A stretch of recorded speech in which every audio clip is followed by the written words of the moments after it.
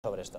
Sí, no, es que mm, es, esencialmente distinto que un ministro responsable del ramo o, varios ministros responsables del ramo eh, inspeccionen, hagan cumplir la ley o planteen reformas legislativas en las cosas que crean, ¿no? sobre las que ya hablaremos, y, una cosa completamente distinta es que un ministro en Inglaterra haga unas declaraciones diciendo que la carne española, mejor dicho, que España exporta carne de mala calidad. Eso es un atentado, eso es un...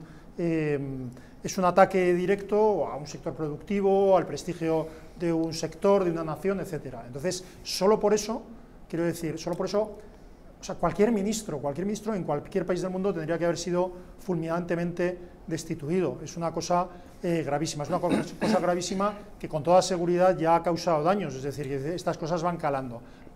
Y además, quiero decir, cuando un ministro, cuando un responsable de una nación, un responsable político de una nación, ataca un producto de una nación en el extranjero, se pueden imaginar ustedes el mensaje que le llegan a los consumidores. No es, uy, hay determinada carne española que procede de vacas que les tratan mal, o hay... No, no, no, no. El mensaje que les llega es la carne española es de mala calidad. ¿Cuánto daño ha causado y cuánto daño va a causar eso? Que detrás no hay solo la torpeza de un, de un tipo del nivel de Alberto Garzón, sino que hay una, una forma de entender las cosas, una ideología, etcétera, bien, pero lo que quiero decir es que te lo he dicho esta mañana, pero me repito en esto, eh, hay un gobierno de personas con mala intención, de, malvados, y hay un gobierno, un gobierno, que además, o hay parte de un gobierno que además de malvados son tontos. Que eso sea el caso de Alberto Garzón, bien, pero a mí eso no me consuela por el daño terrible